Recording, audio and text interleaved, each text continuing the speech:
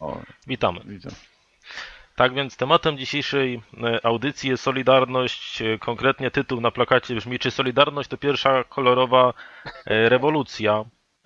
I to jest jedno z tych głównych pytań, które jako pierwsze tutaj zadaję. Z tym, że dodam jeszcze uściśle, co konkretnie kryje się pod tym terminem, bo on też często jest dość niejasny. Tak więc mam tutaj na myśli tutaj e, w szczególności e, czy Zachód, USA, NATO wspierały Solidarność i dlaczego? I, pierwszy, I oddaję głos jako pierwszemu Piotrowi Ikonowiczowi. Ja, ja tylko technicznie chciałbym zwrócić uwagę, że głos prowadzącego y, dociera do mnie w sposób przerywany, ale domyśliłem się, że udzieliłeś mi głosu. Tak. Ja chcę, ja chcę powiedzieć, że taka spiskowa teoria historii, która każe widzieć w każdej rewolucji, w każdym buncie społecznym mm, efekt spisku czy też knowań y, służb specjalnych, o wrogich mocarstw i tak dalej, no jest nie nowa i ona, y, ja się z nią jakby no, generalnie słabo zgadzam, dlatego że ona odbiera ruchom społecznym, społeczeństwom, grupom zbuntowanym, y, zbuntowanych pracowników, obywateli, odbiera im podmiotowość, bo na końcu zawsze jest taki człowiek z takim chytrym uśmieszkiem, który mówi, ja wiem, to wyście tutaj podskakiwali, ale tak naprawdę to wszystko było pod kontrolą, wy byliście manipulowani. I to jest taka teoria powszechnej manipulacji, która y, jest bardzo niebezpieczna dla, dla nas rewolucjonistów, dlatego że ona mówi nam to, co jest y, u wejścia do, do piekła, prawda? Porzućcie la światę omnia speranza, porzućcie wszelką nadzieję. To i tak wszystko robią służby, a wy jesteście tylko, tylko marionetkami. Ja jestem z pokolenia Solidarności, brałem udział w tym niesamowitym wydarzeniu, a raczej procesie, w, tej, w tym, co nazywaliśmy wtedy te 16 miesięcy, które nazywaliśmy karnawałem, kiedy rządziła partia stalinowska, czy tam poststalinowska z jednej strony, a z drugiej strony y, ruch robotniczy współrządził, tak? I to było, i to było piękne. No i nie dam sobie tego zabrać pomocą formuły, że to wszystko, moim zdaniem dolary CIA, które tam gdzieś wpłynęły do jakichś kół, one były bezsilne wobec prawdziwego ruchu. I, I ja może tylko dam jeden przykład, żeby już oddać głos Brunowi. Mianowicie 1 maja 1982 roku, tuż po stanie wojennym, e, Regionalny Komitet Wykonawczy Solidarności ze Zbigniewem Bujakiem na czele wezwał do bojkotu 1 maja. A myśmy byli z pierwszej linii, z Zakładowego Robotniczego Komitetu Solidarności, z Komitetu Powyznawczego Lewicy Rewolucyjnej i myśmy, myśmy zmienili tą decyzję. Myśmy zdjęli z dachów ulotki wzywające do bojkotu, rozlepili odezwy wzywające do alternatywnych obchodów 1 maja. I 1 maja z katedry świętego Jana wyszedł Maciek Gus, robotnik trockista, z, zakratowaną, z obrazkiem zakratowanej Matki Boskiej nad głową, a za nim 20 tysięcy ludzi i nie było ZOMO, bo my nie byliśmy ani manipulowani, ani infiltrowani. To pokazuje podmiotowość ruchu, jego, że tak powiem, wielowymiarowość. Można było manipulować poszczególne osoby, które były w strukturach Solidarności, czy wcześniej w wolnych związków zawodowych, ale nie da się manipulować tysięcy ludzi, ani dziesięciomilionowego ruchu. E, Dobrze, to teraz Jeżeli prosiłbym tutaj. e, Czy jeszcze chcesz coś dodać? Nie, nie, Bruna chętnie posłucham. E, Dobrze, to tak. No to ja tu jeszcze tutaj skrócę, że właśnie Bruno, tak żebyś w dwóch minutach mógł się odnieść, a też żebyś odpowiedział na to pytanie, które zadałem na początku. E, a no tak, no ale one są związane właściwie ze sobą. Nie no, ja bym powiedział tak, że jak jest ruch masowy, to wiadomo, że spiski się nie mogą udać. Mogą się udać oczywiście dla poszczególnych osób, ale nie mogą się udać, jak jest ruch masowy, a szczególnie jak ten ruch masowy jest zorganizowany. Problem polega na tym, kiedy z różnych przyczyn ten ruch masowy słabnie, e, e, w tym momencie w tym momencie oczywiście różne osoby, osobistości, działacze i tak dalej mogą być manipulowani i oczywiście pokierować sprawę w swoim kierunku. Także są różne momenty, bo Solidarność to jest przecież ogromny ruch masowy, to jest początkowo ten strajk, prawda, śmierteliowy, potem poszczególne, potem organizacja związku zawodowego, te, te, te, te, te, te, te, te, te momenty w, w 81 roku i, i, i, i przez te 16 miesięcy, potem stan wojenny, podziemie i wreszcie okrągły stół. I to nie jest ta sama Solidarność od początku do końca. Oczywiście były elementy ciągłości, tu czy tam, ale masowy ruch Solidarności to był na początku 81 roku, potem, potem znacznie mniej. I, no i oczywiście stan wojenny zmienił zupełnie sytuację i, i, i dlatego należy odróżnić poszczególne momenty.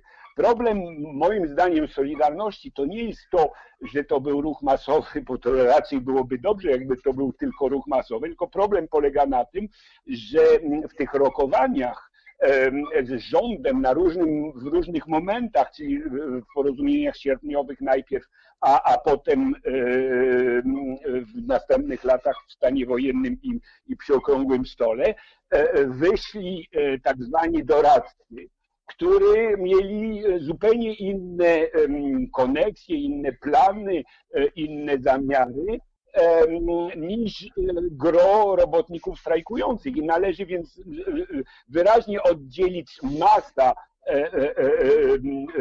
powiedzmy członków, szeregowa masa członków Solidarności i struktury, że tak powiem, oddolne od, od elit E, zresztą w czasie po stanie wojennym, to chyba Piotr mi to potwierdzi, e, zupełnie inny był poziom życia, że tak powiem, e, różnych działaczy, powiedzmy szeregowych Solidarności. W porównaniu do enklaw takich pół półinteligenckich czy inteligenckich, warszawskich czy innych, które zupełnie dobrze prosperowały w czasie stanu wojennego i nawet w podziemiu prawda, ja, ja rozmawiałem masz, tam, masz na myśli te dolary z zachodu, tak? Tak, właśnie, także to skorumpowało pewna część elit na pewno, która się przygotowała do kapitalizmu już wcześniej w Solidarności, jednocześnie z tym, że w partii, w PZPR-ze też się przygotowali do kapitalizmu. Natomiast oczywiście e, e, e, e my się wydaje, że nawet w Warszawie, prawda, e, inaczej było, była sytuacja w poszczególnych fabrykach gdzie działały mm, komórki e, e, podziemne, a inaczej było w tych, że tak powiem, salonach warszawskiej opozycji, e, które miały kontakty z zachodu i no niekoniecznie były przekupione, ale były w każdym razie pod pod wrażeniem Zachodu, pod wrażeniem zachodnich salonów, pod wrażeniem zachodnich, e, e, e, zachodnich korespondentów, zachodnich ambasad i tak dalej, i które właściwie zaczęli żyć innym życiem od przeciętnego Polaka, a tym bardziej od przeciętnego robotnika.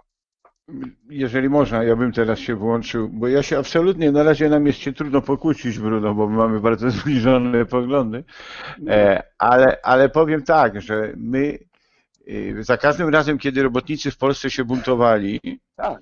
Y, to, y, no, to były takie dwa najważniejsze bunty, 56 rok i 80 to żądali samorządu pracowniczego. Tak, dokładnie. Tak.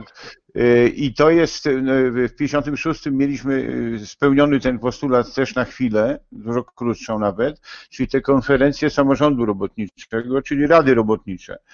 W 80 no potem wymuszono tą ustawę o samorządzie pracowniczym, które, którą potem Balcerowicz, Balcerowicz skasował.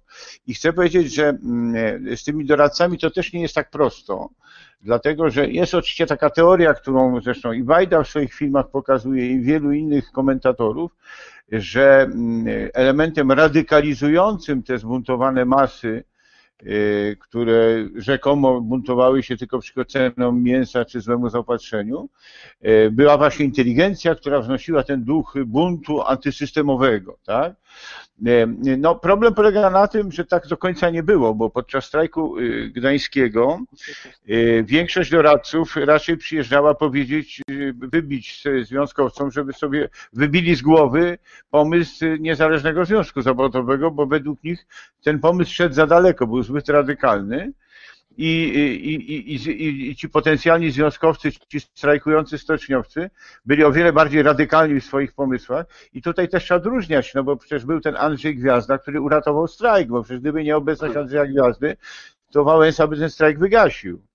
Teraz niezależnie od tego, jak bardzo on był kontrolowany czy niekontrolowany przez służby, ten Wałęsa, no to ja pamiętam w stanie wojennym, e, Lech Wałęsa wydawał, e, czy patronował w wydawaniu Stoczni Gdańskiej podziemnej gazetki Solidarności. Wiecie, jaką, jaki ona nosiła tytuł? Solidarność i rozwaga.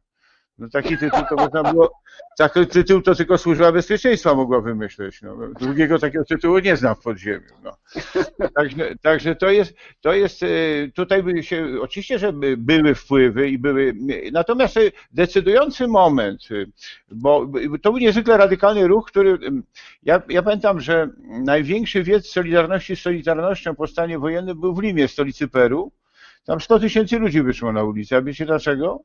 Dlatego, że biedni ludzie na całym świecie y, byli pełni nadziei, że oto robotnicy, to co było atrapą socjalizmu, ten, ten obóz socjalistyczny, uczynią prawdziwym socjalizmem, to znaczy, że to zdanie, w które robotnicy strajkujący uwierzyli, a które było w konstytucji PRL, że władza należy do ludu pracującego miast i wsi, że ono się ziści.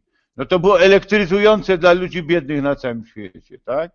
Y, no i co się stało? No przedstan wojenny, który oczywiście to, to zniszczył to marzenie i ludzie no, ba, bardzo nad tym boleli na całym świecie i wtedy były koszulki, to jest fascynujące, fascynujące być Polakiem. I potem oczywiście jak e, Byłem w Białęce internowany właśnie za to organizowanie 1 maja, w maju nas internowali, to y, tam z tej Białęki y, Jacek Kuroń wysłał taki, taką odezwę.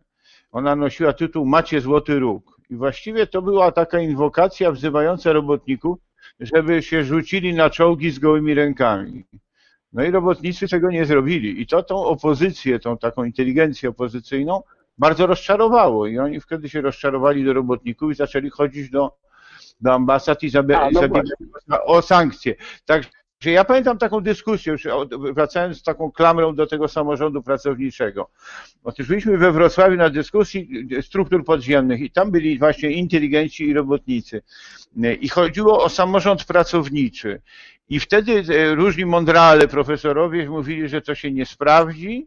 I wtedy taki Jacek Szucherowski z Hutmenu robotnik mówi, a kolega to z jakiego jest e, zakładu? No on mówi, ja jestem z zakładu metodologii stosowanej, jakiś tam zakład A on mówi, a ja jestem z Wydziału Wytapiania Metali Kolorowych, mówi, z Hutmenu i ja jestem robotnikiem i ja chcę zarządzać moim zakładem. To był argument.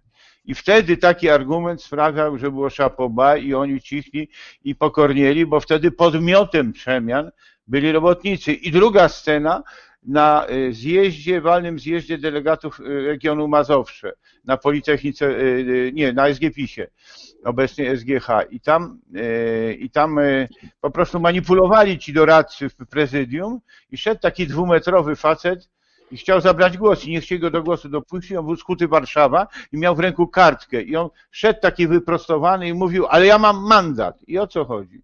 Że zanim on tam przyszedł, to była masówka załogi i kilka tysięcy hutników powiedziało mu, co ma załatwić. I, I, bardzo wielu ludzi, ja też uważam, że Solidarność w tej strukturze międzyzakładowych komitetów strajkowych, w tej strukturze tych zgromadzeń, które delegowały wyżej i wyżej swoich delegatów, to była próba dokończenia rewolucji październikowej w momencie, kiedy rozwiązano rady, bo to były rady robotnicze. Nie, tak, e, mogę? Tak, tak, oczywiście. Tak, proszę. A dobra, e, nie, bo właśnie nie, no na pewno e, e, to jest właśnie mniej więcej, to, to, ta teza się zgadza z moją, że robotnicy zmierzali zawsze do samorządności, czyli do wypełnienia obietnic socjalizmu i e, nigdy nie walczyli o kapitalizm, ale zawsze o pełne uspołecznienie środków produkcji, to na pewno. Inteligenci oczywiście bali się, e, znaczy inteligenci i tak zwane elity, elity bali się, e, bali się e, właśnie żywiołowego ruchu i w ogóle klasowego ruchu. I właściwie one właściwie bardziej liczyli na Zachód niż na klasę robotniczą, znaczy na Zachód, na, na, na, na państwa zachodnie, na ambasady i tak dalej. E, oczywiście inaczej można powiedzieć że w przypadku Kuronia na przykład, który jednak miał jakiś tam e, sentyment do robotników, a inaczej w, w przypadku Geremka i Mazowieckiego, którzy byli już właściwie związani z Zachodem już od dawna, bo właściwie Geremek już właściwie w latach 60. się związał z różnymi środowiskami, mniej czy bardziej związanymi e, z, z aparatem państwowym Stanów Zjednoczonych i Francji, ale przede wszystkim... A to ja chcę tylko wtrącić, że moim bohaterem i człowiekiem, którego ja widziałem na ostatniej Komisji Krajowej Solidarności, byłem dziennikarzem pracującym dla Solidarności, ja sprawozdawałem te komisje krajowe, to był, to był przede wszystkim Karol Modzelewski, Aha, a no drugi tak. to był Jan Rulewski. Oni do końca walczyli o uchwałę o strajku generalnym i ją wywalczyli. Ja zresztą tą uchwałę zawiozłem potem do Warszawy. Tak, nie, Czyli no, nie wszyscy doradcy byli sprzedajni, o to mi chodzi. No to, to, ja, to, to ja się zgadzam z tym, oczywiście, że, że byli sprzedajni, byli sprzedajni od początku, ale e, e, e, no bo wiadomo, że jakby się udało gdziekolwiek na świecie socjalizm, to żadne państwo kapitalistyczne by się z tego nie, nie cieszył. A socjalizm w Polsce, no, tak zwany socjalizm realny w latach 70., prawda, już już był właściwie w kryzysie z powodu, z różnych przyczyn, ale my powiedzmy e, e, szczególnie z powodu zadłużenia, więc on nie mógł być żadnym, żadnym e, przykładem dla, dla powiedzmy klas pracujących świata. Ale jakby się ten socjalizm odnowił, jakby się zdemokratyzował, jakby się rozwijał, to byłby jeszcze gorzej dla, e, dla kapitalistów, więc oni e, e, właściwie grali na inteligentów doradców, żeby ostudzić ten zapał i kierować ten, ta energia, że tak powiem, na rzecz samorządu w kierunku antykomunizmu, w kierunku właściwie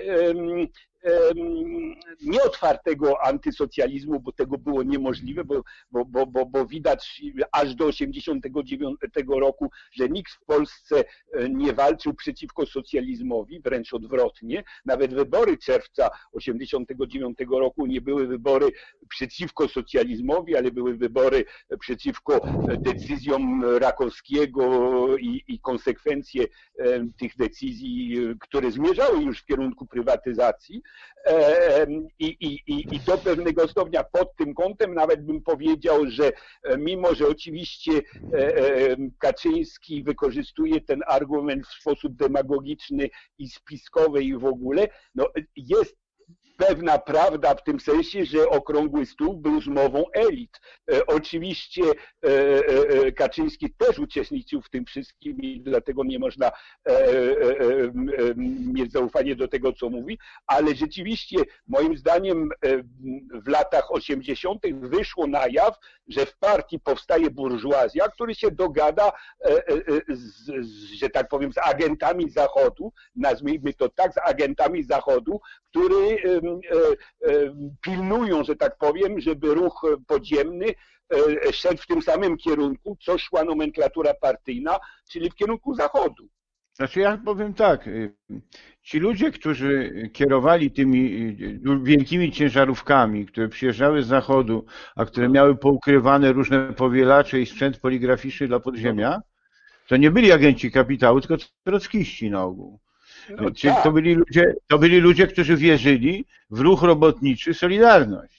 Natomiast jest, jest taka sytuacja takiego oszustwa językowego, tak? Znaczy, bo w pewnym momencie, jak już rozliczaliśmy ten program samorządnej Rzeczpospolitej, a wiadomo, że to poszło w innym kierunku, to jeden z architektów intelektualnych tego, tej naszej transformacji, czyli Adam Michnik, on mhm. się wyślizgiwał w ten sposób, że mówił, że my mówiliśmy o samorządnej Rzeczpospolitej i o samorządzie pracowniczym po to, żeby komunistów wyprowadzić w pole, żeby ich oszukać. No, to był tak, taki tak. podstęp.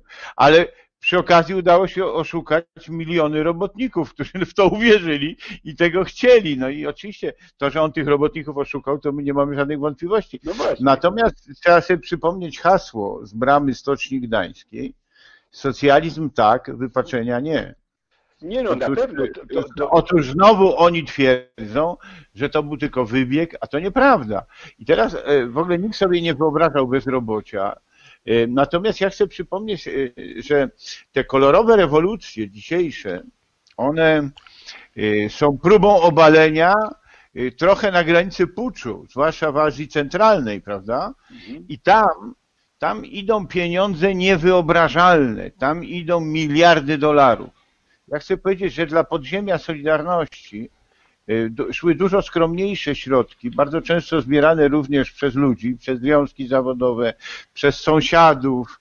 Y, jest opowieść takiego byłego y, żołnierza Kedywu i powstańca warszawskiego, bardzo rozsądnego człowieka, który mówi, że jego sąsiedzi przyszli i powiedzieli, że oni teraz będą zbierali dla Polaków pieniądze, bo w Polsce jest stan wojenny, tak? I myśmy prowadzili jako zalążek PPS-u w ramach Solidarności, to lewe skrzydło, myśmy prowadzili, wydawaliśmy robotnika pismo MRKS-u i wydawaliśmy taki dodatek Praca, Płaca BHP i zrobiliśmy tuż przed powołaniem Polskiej Partii Socjalistycznej y, w 1988 roku miesiąc pracy zakładowej Solidarności. Myśmy tam podkurzali różne tytuły podziemnej pracy właśnie zakładowej, gdzie się pisze o tym, że kobietom krzesła drą krzesła, y, pończochy, że trzeba dźwigać tony, że są złe warunki BHP, że źle się ludzi traktuje. I to, i najlepsze pismo spośród tych pisemek zakładowych chcieliśmy nagrodzić nagrodą jakąś pieniężną i to było pismo y, z zakładów Nowotki, chyba Reduta się nazywało. I y, tak, bo tam była Reduta Ordona. I i poszliśmy do jednego z działaczy, tych takich prominentnych działaczy Solidarności Podziemnej, żeby nam dał trochę tych pieniędzy. I on, i on nam dał 50 dolarów, jak dziś pamiętam. To, była dość skromna nagroda, no ale tam ci się tak ucieszyli. Ale tam nie było takich wielkich pieniędzy, o których się dzisiaj mówi, dlatego że Zachód w ogóle sobie nie wyobrażał upadku tego obozu. W no, związku z czym tak. to, co później po tych wydarzeniach i upadku muru było oczywiste, że różne rzeczy się kruszą łatwo i że trzeba sypać pieniądze, to jeszcze nie był ten etap. Jeszcze była zimna wojna. To nie było takie proste. No, pozwólcie tutaj, że wtrącę się w tym momencie.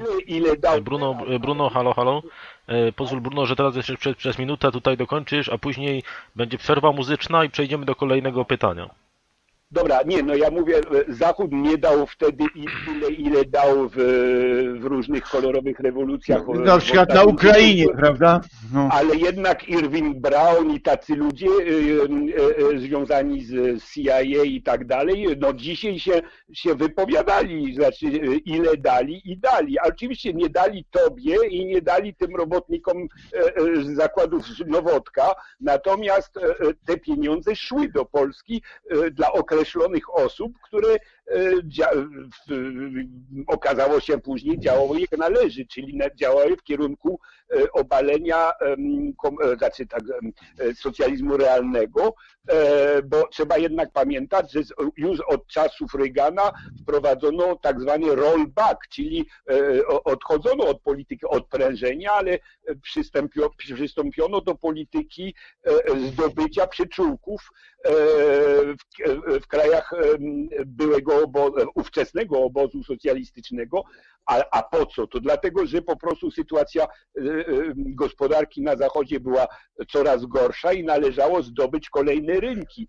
Po prostu kapitalizm właściwie, jeśli kapitalizm dzisiaj istnieje, to tylko dzięki tym, że po, po 89 roku nagle otworzyła się furtka i mógł zdobyć kolejne rynki bo inaczej sytuacja była już niedobra na Zachodzie. Także mm, e, e, e, od Reagana jednak była ta polityka rollback, zmiękczenia poszczególnych krajów socjalistycznych, tak zwanych socjalistycznych, czy, czy, czy jeszcze realnie socjalistycznych i, i, i, i, i były, była taka strategia zdobycia. Ja, ja przypominam jedną rzecz, że Soros założył swoje pierwsze biuro w Budapeszcie w 1984 roku, czyli długo przed upadkiem tak zwanego muru. I, i, i, I no wiadomo, że Soros jest jednym do dziś dnia z fundatorów, że tak powiem, tych różnych kolorowych rewolucji. Oczywiście to były początki, w tych latach, to, nie, to, to, to jeszcze system, że tak powiem, kolorowych rewolucji nie wszedł, w, nie był tak doskonały tak, jak i, teraz. I zgodzimy ale... się, że to były dużo mniejsze pieniądze. Nie, oczywiście, ale, ale już starczyły, żeby parę doradców przeszły na... A nie, nie, ale osób się wzbogaciło, ale to nie no. były pieniądze, za które można zrobić rewolucję. Się mówi, że Lenin dostał a nie, no, to, a, e, no. nie no, problem, no zresztą w ogóle zmienił się ustrój w Polsce w 89 roku, nie w wyniku rewolucji, ale w wyniku okrągłego stołu. E, e, a, także, a także implozji systemu tego, który tam istniał, realnego socjalizmu. Doszło do no, implozji. Ona się załamała, była zmurszała, była zmurszała już, no niestety. No, no tak, ale... To jest osobny temat. Daj mu mu zadać tak. następne pytanie. Dobra, okej. Okay. Także dziękuję tutaj za podsumowanie e, towarzysza Bruna. E, zapraszam wszystkich teraz na przerwę muzyczną, ona potrwa około 5 minut. E, też nas jeden towarzysz tutaj prosił o taką przerwę w trakcie debaty, żeby można sobie było zrobić herbatę czy cokolwiek, bo, bo właśnie ta debata trwa i trwa. No także zapraszam, zapraszam do wysłuchania utworu. Dobra. I wrócimy za około 5 minut.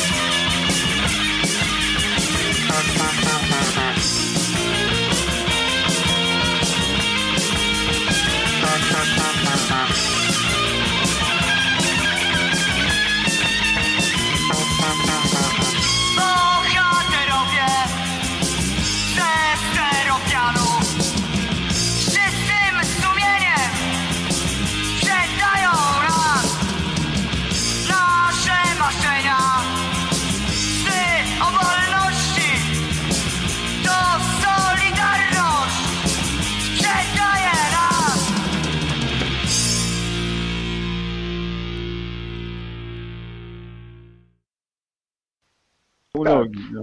Dobrze, więc y, tutaj już jesteśmy po przerwie muzycznej, także e, zadam kolejne e, pytanie. Tak więc tego, co tutaj właśnie e, mówiliście, właśnie o tych samorządach robotniczych, o tym, jak ci robotnicy właściwie chcieli socjalizmu, jak ci robotnicy właśnie w tych postulatach, no wcale nie chcieli jakiegoś neoliberalizmu, wylądowania na bruku, likwidacji fabryk, która zresztą no, stała się w, w, w niedalekiej dość przyszłości.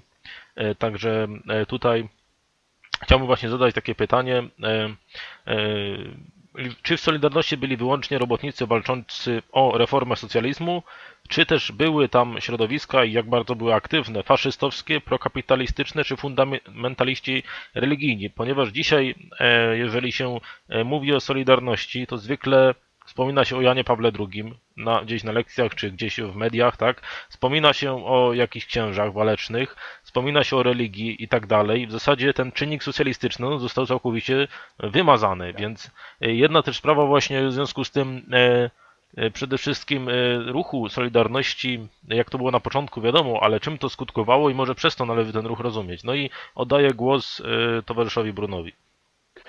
Tak, no jeśli chodzi o prokapitalistyczny, bym powiedział, że nie było coś takiego. Znaczy na pewno byli tacy, e, takie jednostki, które do tego dążyły, ale e, e, jako ruch nikt by w Polsce nie zdobył poparcia wtedy, jakby głosił hasła kapitalistyczne.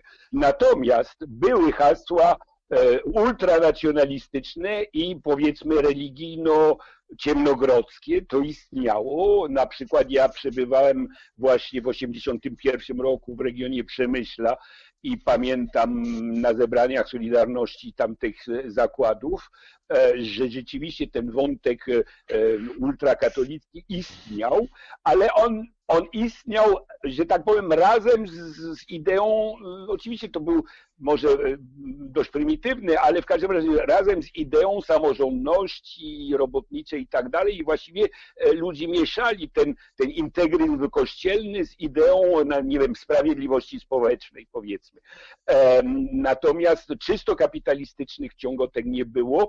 Faszystowskich czy tam ONR-owskich tego typu, no zdarzało się takie, takie, takie coś y, zauważyłem tu czy tam, ale to było marginalne tak naprawdę. Y, y, lwia część robotników uczestniczących w tym ruchu, to z tego co, co, co pamiętam w tych latach, ale Piotr to potwierdzi zapewne, to, to właściwie oni walczyli właśnie o to samorządność, o to podmiotowość, o to, o, o, o kolejne zdobycze socjalne, i tak dalej. I, i, i, i o to chodziło. Ja, ja, może teraz przejdę, bo tu już nam pomału zmierza do końca. Otóż ja, ja oczywiście sobie zdaję sprawę i wszyscy wiemy, że y, zabrakło takiego kręgosłupa politycznego, właściwie partii no. rewolucyjnej, która by tą przemianę y, jakoś usensowniła i ten bunt. I, I ta pustka ideologiczna została wypełniona przez Kościół. I to, że strajkujący stoczniowcy padli na kolana i zaczęli się spowiadać i modlić, to być może był zalążek klęski. Ale z drugiej strony ta sama religia, która ludzi, że tak powiem, potrafi osiodłać, również ich uskrzydla. Dlatego, że ja pamiętam tą mm, pielgrzymkę Jana Pawła II y, po napisaniu Laborem Exercens, i to było wezwanie do buntu społecznego. To było uznioślenie i sakralizacja pracy, tak? Raptem się okazywało, że praca i człowiek pracy jest najważniejszy. Ja, ja myślę, że to bardzo źle, że ci katolicy polscy zapomnieli słowa tego papieża, którego oni uznawali, bo obecnego papieża on jest zbyt e, chrześcijański, to oni go nie uznają, bo oni są zbyt pogańscy, zwłaszcza ci klerykałowie. Ale generalnie Jan Paweł II ze swoją społeczną nauką Kościoła tak naprawdę siał żagiew buntu i to buntu, o który nam chodziło. To jest, y, wreszcie ci księża bohaterowie. No, ja brałem udział w mszach, które prowadził y, ksiądz Jerzy Popiełuszko, nie dlatego, że się modliłem, bo przecież jestem niewierzący, tylko dlatego, że y, dla mnie Popiełuszko był, był kapelanem huty, ale tak naprawdę był przywódcą robotniczym i trzeba pamiętać, I on, on nas witał na tych wszak, to mówi, witam wszystkich wierzących i niewierzących, których jednoczy tam idea patriotyczna i tak dalej. I chcę powiedzieć, no i potem oczywiście czekaliśmy na walki w ZOMO, bo po mszach zawsze się naparzaliśmy z ZOMO i to też była dodatkowa atrakcja, ale chcę przypomnieć, że tuż przed zamordowaniem Popiełuszki hierarchia kościelna chciała go przenieść na prowincję, bo on im przeszkadzał w dogadywaniu się z władzą. Tutaj my zapominamy, że w tej rozmowie elit E, z, z, e, tak zwanych komunistycznych z opozycyjnymi, bardzo ważną rolę taką elity kościelne odgrywały i one też, ja pamiętam, był taki moment z kolei, kiedy prymas ty, tysiąclecia na Górze Świętej Anny, jak były pierwsze strajki, wzywał robotników, żeby już nie strajkowali, czyli stanął po stronie ówczesnej władzy w PRL-u, tak? Bo oni byli umiarkowani, ale byli umiarkowani, ale byli księża rewolucjoniści, tacy jak Popiełuszko, tak? A jednocześnie w sensie intelektualnym i ideowym to, co mówił Jan Paweł wtedy w czasie tej, ja pamiętam w Radiu France International Bernard Guetta takie płomienne sprawozdania pisał o tym właśnie y, papieskim przesłaniu dla robotników o podmiotowieniu świata pracy.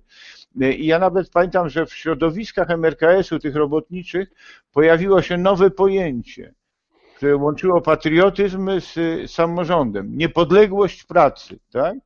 E, do dzisiaj, e, jakby e, my działając w obronie ludzi ubogich, na przykład chodzimy do kanału, tak?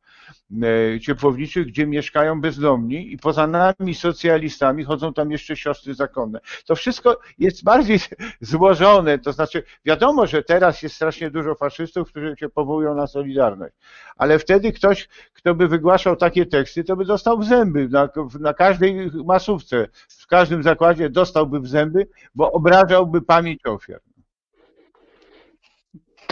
Tak, może dodam jednak, że co do papieża mam nieco inne zdanie, bo z jednej strony tak mówi, ale z drugiej strony teraz wyszły dokumenty, że jednak ten papież trzymał e, jednak e, stałe kontakty z, z amerykańskimi służbami, z Reaganem i z najciemniejszą reakcją liberalną, oczywiście nie faszystowską, ale liberalną, e, także właściwie był bardziej dwulicowy niż się wydawało dotychczas. On właściwie, mam wrażenie, że on używał ten, te frazesy robotnicze, bo e, no bo nie można było inaczej zdobyć wpływ w Polsce niż e, e, używając hasła socjalizujące, socjalistyczne, robotnicze, ale z drugiej strony swój antykomunizm wzmocnił kontaktami z Amerykanami i należy pamiętać, że w ogóle on dostał się na, na tron papieski z, po, e, e, z powodu, z poparciem episkopatu niemieckiego, który jest e, bardzo mm, tradycjonalistyczny, reakcyjny i w ogóle ma raczej niechlubne e, tradycje z czasów wojennych i, i, i zaraz przedwojennych. Także no, tak. no, papież musiał lawirować jednak. No tak, ale pewnie masz trochę rację, nawet dużo racji, tylko problem polega na tym, że jak nam w wiecach, tak, y, tych tak, mszach, tak, które były zamienione w wiece, padały słowa, które podpalały bunt, to niezależnie od tego, czy, czy, czy jakaś inna tak, policja tak. stała z tyłu, to to rozpalało serca i umysły. I teraz w takim kierunku, znaczy, to, to jest argument za tym, że to przesłanie, które szło od Kościoła, nie musiało być reakcyjne i nie było reakcyjne. I jak my dzisiaj próbujemy ludzi przekonać, a mamy z tym duży problem, Bruno, że Solidarność była ruchem tak naprawdę robotniczym, to to, że w ten sposób papież do nich mówił, to jest dowód na to, że taki była, bo to, to jest właśnie kapitalne zdanie, które ty powiedziałeś, że gdyby mówił inaczej, to by go przestali słuchać. Ale opowiem tutaj, być może to jest w ogóle nie na temat, ale muszę powiedzieć, skoro już oceniamy papieża i tego wpływy i tak dalej, opowiem anegdotę z baru w Brukseli. Otóż już w 90 latach y, papież przyleciał na Kubę I yy, ja byłem w barze w Brukseli i wszyscy się skupili wokół telewizora i wysłuchali przemówienia powitalnego Fidela Castro. Fidel Castro przemówił do papieża na powitanie No jak Fidel Castro przestał mówić i zaczął mówić papież, to wyłączyli telewizor i wrócili do baru. Także nie wszędzie on był taki uwielbiany i święty, tak? A to był taki robotniczy właśnie, osiedle robotnicze i takie o tam bar, ale pełno ludzi. Więc różnie to było. E, dzisiaj e, moim zdaniem nie jest głupie, e, żeby lewica jednak odwoływała się do tych wątków społecznej nauki Kościoła po to, żeby, no, bo, bo, bo jednak y, jest takie zdanie wspólne, a jednak jesteśmy w katolickim kraju, które mówi o tym, że człowiek powinien być przed kapitałem, prawda? No tak. Y, I moim zdaniem, y, ja zawsze, ja czekam ciągle, aż w Polsce pojawi się jakiś kościół ubogich, tak? Jak, jakaś teologia wyzwolenia. No, no, no niby jest, mamy, no jest to czasopismo Kontakt, ale on jest zwalczany przez cały Kościół, z tego co wiem. No jest też bardzo inteligentnie wydawany tygodnik powszechny, tak? Ale są, y, ja powiem tak, ja jako działacz społeczny spotykam takie środowiska parafialne, które również robią dużo dobrej społecznej roboty, no, której nie robi państwo z kolei czy samorząd. Więc tutaj poszukiwać można również tych wspólnot sąsiedzkich. Trzeba szukać różnie, natomiast my nie możemy, y, że tak powiem, y, robić równania między lewicowością, antyklerykalizmem, czy też sprowadzić lewicowość do antyklerykalizmu, tak? Dlatego, że, że, że tego, poza tym oczywiście dzisiaj takim ważnym orężem w rękach lewicy jest y, to, co mówi Franciszek, prawda? Papież Franciszek. Bo to Nie jest par excellence lewicowe. No. Może trzeba odróżnić antyklerykalizm od antyreligijności po prostu kler jako struktura, to, no, to raczej jest reakcyjne. No, no masz rację. Natomiast masz wiara, no to już jest kwestia osobista i jak ktoś wierzy i w imię tej wiary walczy o słuszną sprawę, to proszę bardzo. Ale wracając do tego pytania wyjściowego, ja pamiętam, e, że w Warszawie działał, działali ludzie z Narodowego e, Ruchu Robotniczego i oni działali w strukturach Solidarności. No i y, takim ich przywódcą był y, Marian, zwany Mańkiem, Maniek Parchocki. No i Maniek Warchocki poza tym, że był przywódcą Narodowego Ruchu Robotniczego, działał w strukturze Międzyzakładowego Komitetu Solidarności Wola, to jeszcze był bandytą i to takim hersztem bandytów. I pamiętam sytuację, w której tam, y, bo myśmy jeździli taksówkami i malowali napisy na fabrykach, że będzie strajk, bo były podwyżki cen, tak? Y, no i część tych ludzi się złamało i tam y, szantażowali i tak dalej i coś tam gadali.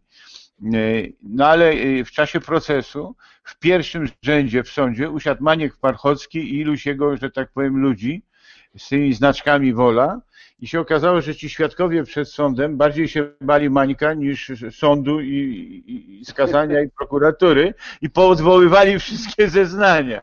Tak? Bo, ale co ciekawe, ten ruch narodowy i przed wojną, jak się czyta tą literaturę, to zwykle właśnie z tych środowisk kryminalnych się wywodził. No u nas to są środowiska kibicowskie, które zajmują się w dużej mierze rozprowadzaniem narkotyków, więc jakby tradycja, jeśli chodzi o ruch narodowy, została utrzymana. No niestety, prawda? Także e, już zmierzamy powoli do końca, a z tego powodu, że słuchacze nam zadają tutaj pytania do, do, do właśnie do Was, to żebyś, żebyśmy byli też uczciwi wobec tego, że ja też obiecałem pisząc, e, że, że będzie możliwość zadawania pytań. Także może po dwa pytania zadam. Ale obiecałeś też, że będą odpowiedzi, tak? Tak, tak, oczywiście, tak, tak. No właśnie. E, więc e, po dwa pytania, myślę, że tak dwie minuty na odpowiedź, żeby też nie przedłużać. Pytania zresztą są też zwarte, myślę, że łatwo na nie będzie odpowiedzieć. Także pierwsze pyta tutaj pytanie do Piotra Ikonowicza od y, towarzysza Mikołaja Radom. Y, jako były y, Solidaruch, co uważa pan o Janie Guaido i opozycji w Wenezueli? Znaczy, prezydent, który został ogłoszony na wiecu, a nie wybrany, to nie jest prezydent, a mimo to Stany Zjednoczone go uznały. Jeżeli Stany Zjednoczone uznają kogoś za swojego człowieka do tego stopnia, że mimo braku mandatu pochodzącego z wyboru uznają go za prezydenta, to to jest agent Stanów Zjednoczonych. To znaczy w Wenezueli, w całej Ameryce Łacińskiej słowo nacjonalista dla lewicy jest pozytywne, bo nacjonalista to jest ktoś, kto się sprzeciwia dominacji Stanów Zjednoczonych, tak? Jankeskiej.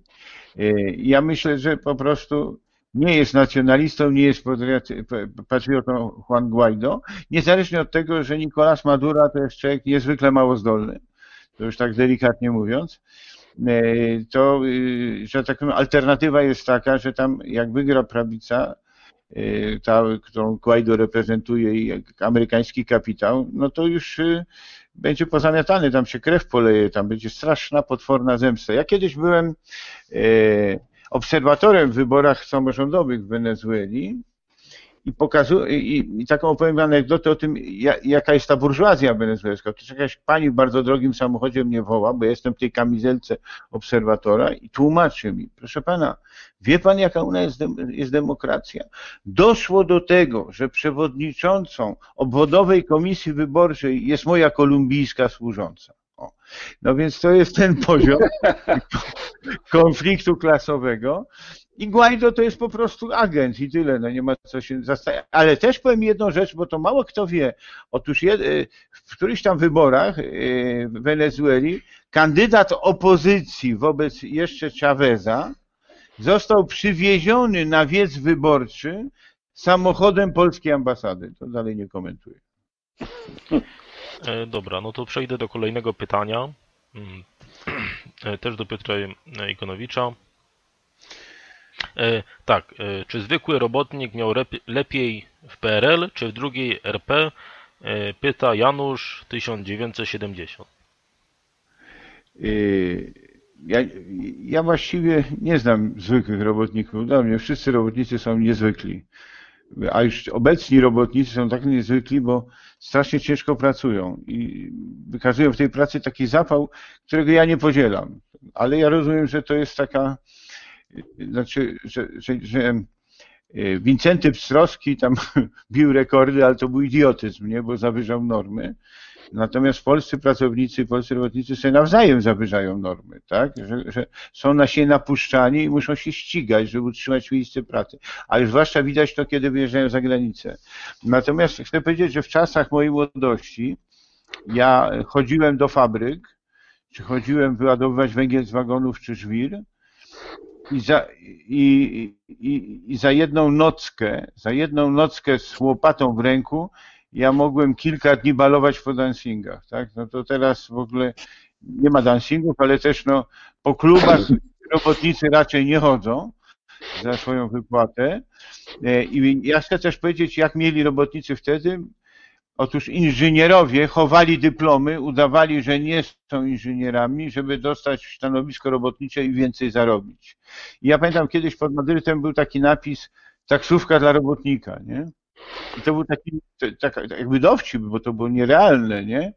A ja pamiętałem z PRL-u, że yy, taki po wypłacie robotnik potrafił wsiąść do taksówki i wynająć drugą taksówkę, która wiozła jego kapelusz czy beret z antenką, tak? Znaczy, była fantazja.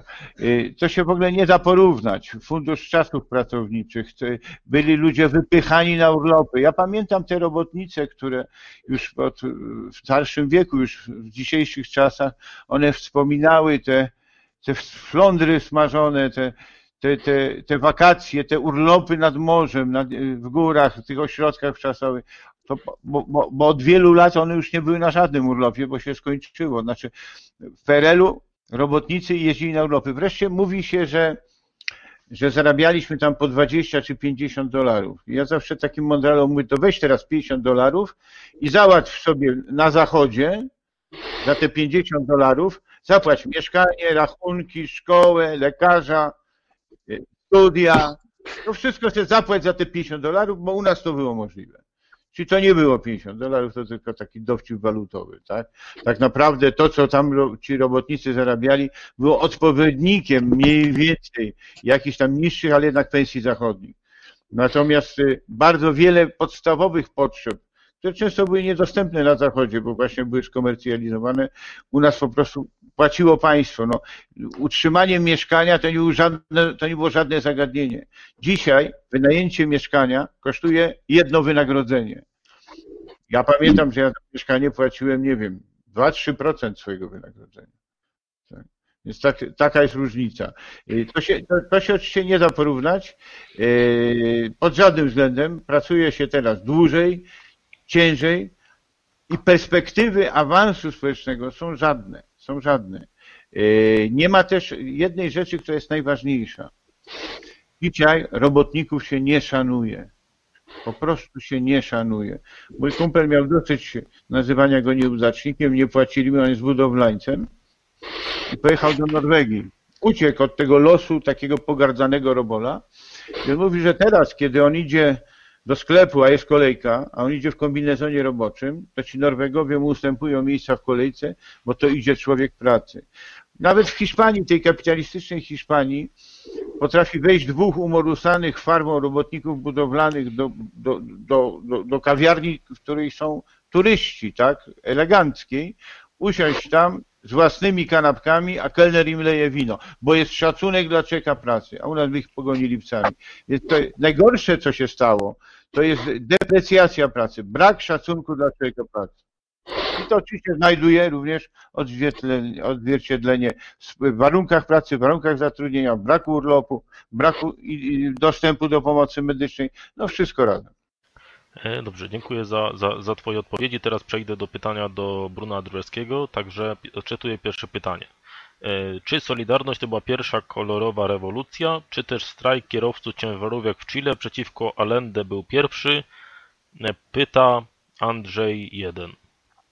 No, strajk kierowców w Chile to na pewno była, że tak powiem, kolorowa rewolucja, bo, bo, bo wiadomo, że zostali podpłaceni za pośrednictwem związków zawodowych amerykańskich przez CIA. Także do Chile nie ma żadnego, e, żadnej wątpliwości. Co do Polski, to, to, to trzeba to rozłożyć na czasie. Oczywiście, że strajki sierpniowe na pewno to nie była rewolucja kolorowa, na pewno te strajki były autentyczne, żywiołowe, e, e, robotnicze, autentyczne, socjalizujące i tak dalej. E, e, a, a, a początek ruchu solidarnościowego też był e, ruchem żywiołowym. Mówiłem potem, że, że oczywiście tam inteligencja, pewni doradcy zostali przekupieni i tak dalej i na pewno, ale właściwie ich działanie negatywne dopiero mogło się zacząć od momentu, kiedy ruch był osłabiony i kiedy zaczęły się te właśnie chodzenie do ambasad i tak dalej, w latach 80. E, i w przygotowaniu do, do okrągłego stołu. Także właściwie na fali buntu społecznego zdobyto przyczółki, że tak powiem, dla nowego systemu kapitalistycznego. Przy tym oczywiście zasadniczy błąd robotników y, i działaczy robotniczych w Polsce polegało na tym, że oni po prostu nie, nie, nie rozumieli, co to jest imperializm e, i, i, i, i, to, że e, e, kapitał może wkroczyć do Polski i wszystko przejąć. Po prostu to była idea zupełnie nierealna. Ludzie myśleli, że w Polsce no, to będą dalej rządzić Polacy, skoro nie ma kapitalistów, to nie może być A, a, a, a, a właśnie okazało się, że, że zupełnie może to, to, to, to się zdarzać. I to jest najistotniejsze. Także e, oczywiście, e, e, że tak powiem, kancelarie zachodnie planowały e, rozbicie e, obozu wschodniego, e, a szczególnie amerykańskie od czasów Reagana, natomiast gro robotników oczywiście została, tak powiem, sprowadzona E, do tej sytuacji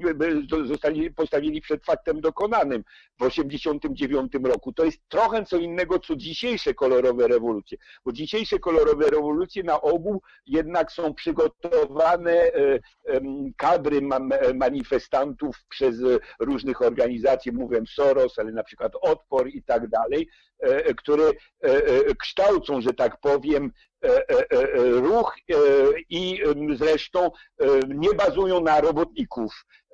To widać wyraźnie na Białorusi teraz, prawda, kiedy hipsterzy manifestują, natomiast mimo, że się mówiło, że są strajki, okazało się, że strajków nie ma w fabrykach, dlatego że klasa robotnicza się nie włączyła do do ruchu hipsterów mińskich. Także to jest sytuacja inna. Tak samo Majdan, Majdan to nie, był, to nie była klasa robotnicza, to byli sprowadzeni z zachodniej Ukrainy autokary różnych działaczy, tam różnych organizacji raczej prawicowych, prawi sektor i tak dalej. Także to jest to innego. W Polsce jednak był ruch robotniczy i póki robotnicy znaczy, kierowali ten ruch, no to nie było mowy o obaleniu socjalizmu czy, czy, i przejściu na kapitalizm. Dopiero właściwie jak zaczęły się gry że tak powiem, kuluarowe, zmierzające ostatecznie do tego okrągłego stołu, wtedy oczywiście doszło do swoistego puczu e, przeciwko istniejącemu ustrojowi, ale przeciwko także e, robotnikom z Solidarności. Ja mówię, jak jest pucz, to pucz właściwie był taki, e, jednocześnie był w partii, w PZPR-ze i, i, i, i w tej, w tej, że tak powiem, przyszłej nomenklaturze Solidarności.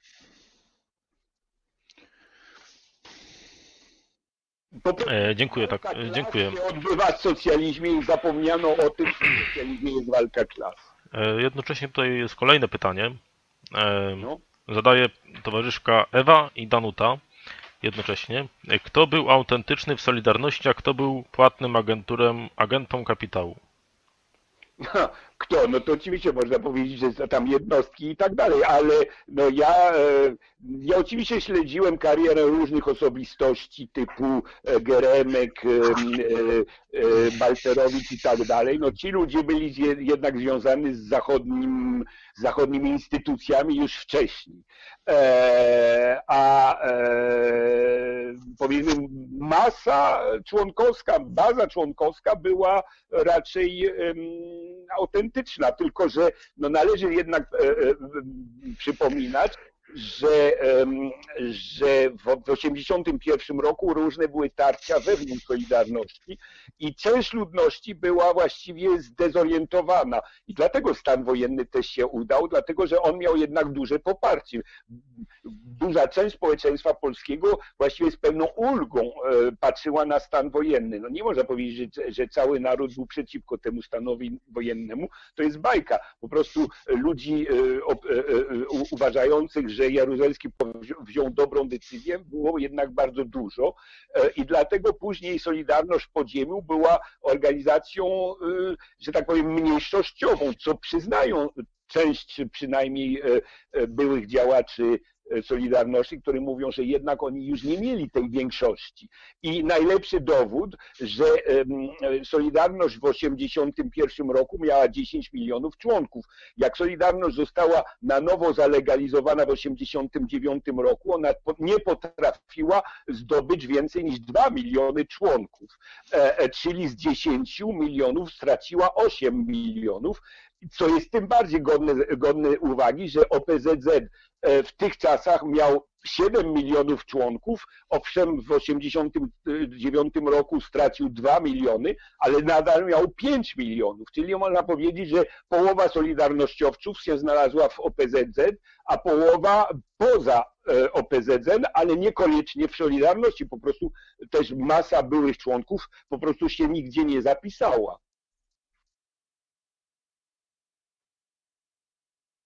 Także dziękujemy tutaj za odpowiedź. E, zbliżamy się powoli e, do końca, więc teraz już e, prosimy tutaj właśnie Ciebie tutaj Piotr, Piotr Ikonowiczu, że właśnie Piotr Ikonowicz, przepraszam, żebyś tutaj no, no, co, co chciałbyś dodać na zakończenie, czy podsumować jakoś swoją wypowiedź? Przez 16 miesięcy udało nam się bardzo wiele zmienić, a przede wszystkim przeżyliśmy taki moment, w którym inteligencja i robotnicy padli sobie w objęcia. I obie strony były tym spotkaniem zachwycone. Y, ja jestem inteligentem, ukończyłem studia, znam języki, jeździłem po świecie, ale zawsze będę miał dług wobec tych ludzi, którzy tyrali w hucie, żebym ja mógł te studia skończyć. I to jest dług, którego ja nigdy nie spłacę i zawsze trzeba go będzie spłacać. Jeżeli chcemy odrodzić poczucie godności pracy w Polsce, a to musimy zwrócić się do tych, bez których niczego by nie było, do 16 milionów ludzi pracy najemnej. I do nich się właśnie zwracamy. Dla nich jest Ruch Sprawiedliwości Społecznej, Kancelaria Sprawiedliwości Społecznej. Dla nim jestem ja z całym moim życiem. E, dziękuję i proszę teraz o głos e, Bruna Dwerskiego. No to tak, no to właściwie tak, to można powiedzieć, że okres Polski Ludowej, czyli od 45 roku do 89 roku, to był jednak okres ogromnego awansu społecznego i e, podniesienia właśnie godności pracy, ludzi pracy i tego nie da się ukryć. E, I ja bym powiedział, że mm, niezależnie od błędów dokonanych błędów i nawet zbrodni, powiedzmy, dokonanych przez niektórych e, e, e, w okresie Polski Ludowej, właściwie jest wspólne, wspólne dziedzictwo, to znaczy nie byłoby Solidarności bez Polski Ludowej. Solidarność się mieści w historii Polski Ludowej i jest częścią składową e, historii Polski Ludowej, a dzisiejsze legendy, które się, e, się buduje, że prawda, Solidarność chciała wyjść z tej Polski Ludowej, to jest, to jest okłamanie historii. Solidarność to było przedłużeniem e, Polski Ludowej, tylko oczywiście nie niedokończone to przedłużenie. I dzisiaj powiedzmy należy właściwie raczej szanować i tych, co odbudowali Polskę po wojnie, tych, co budowali przemysł e, polski po wojnie, robotnicy, którzy budowali tą Polskę ludową i potem robotnicy, którzy chcieli tą Polskę ludową e, polepszyć, ulepszyć, uzdrowić, e, odnowić, przebudować, żeby iść dalej w kierunku socjalizmu. Także właściwie Solidarność nie był przełomem takim, jak się dzisiaj wydaje, to znaczy to nie był przełom w kierunku kapitalizmu. Solidarność chciała być dalszym ciągiem e, e, e, ludowej Polski, tylko że takiej ludowej Polski, która mogła być jednocześnie samorządna, czyli dokończenie, że tak powiem, tych idei, o którym właściwie walczono w 1944, 1945, 1946 roku i które figurują w manifestie PKWN, bo tak naprawdę to manifest PKWN i postulaty Solidarności są bardzo zbieżne. E, dobrze, także dziękujemy za dzisiejszą e, debatę. E, przede wszystkim wiele się tutaj dowiedzieliśmy, tym bardziej jako młody człowiek i słuchacze nasi, którzy w większości są młodymi ludźmi, którzy z nami tu współpracują, na pewno wiele się dowiedzieli. Bardzo dziękuję za udział obu tutaj uczestnikom. No i na dziś to byłoby wszystko. Pozdrowienia towarzysze. Pozdrawiam. Pozdrawiam. Cześć Bruno, do miłego. Cześć, cześć. No i do, do